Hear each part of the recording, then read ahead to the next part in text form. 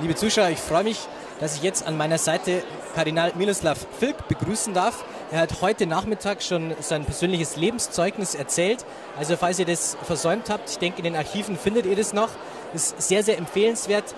Er war damals noch in der Tschechoslowakei Priester, später Bischof, hat echt unter, ja, unter Verfolgung gelitten durch den Kommunismus und ist echt ein, ja, ein wirklicher Zeuge Christi.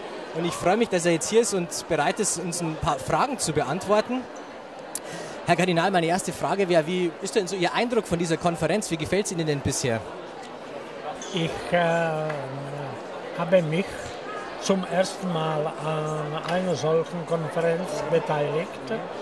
Ich kannte äh, diese äh, Bewegung äh, noch nicht und äh, ich äh, spüre oder ich habe eine, einen Eindruck, einen starken Eindruck also erlebt.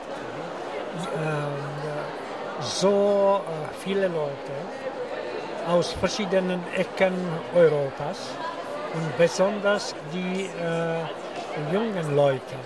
Das hat mich sehr beeindruckt, aber auch äh, das Inhalt, das bedeutet äh, eine tiefe, direkte Beziehung zu Gott und dass man äh, äh,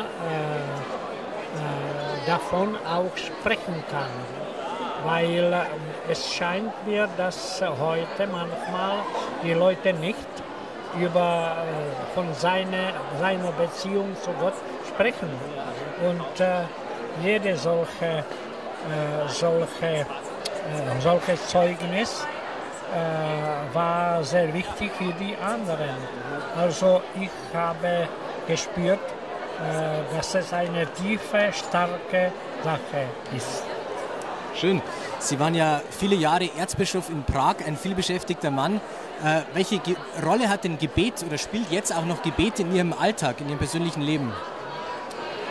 Äh, ich äh, bin jetzt äh, in der Pension und ich spüre, dass ich dem Gebet mehr Platz geben kann, weil wenn ich zurückschaue, muss ich gestehen, dass äh, die äh, Aufgaben haben ein wenig das Gebet unterdrückt.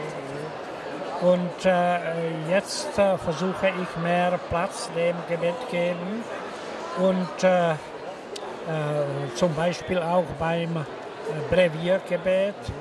Ich denke, ich habe versprochen meinen Freunden, dass ich im Gebet an sie denke, dass ich für sie beten werde.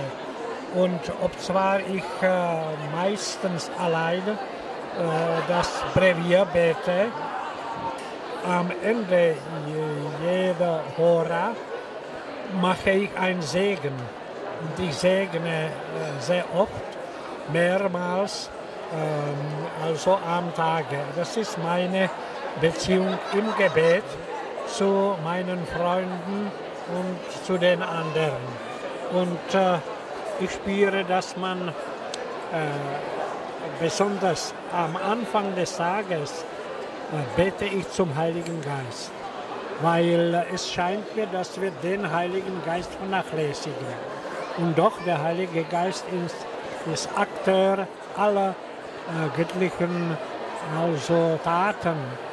Also ich orientiere mich mehr an das Gebet zum äh, äh, Heiligen Geist. Herr Kardinal, vielen Dank, dass Sie sich zur Verfügung gestellt haben und die Zeit sich genommen haben. Bleiben Sie noch länger hier?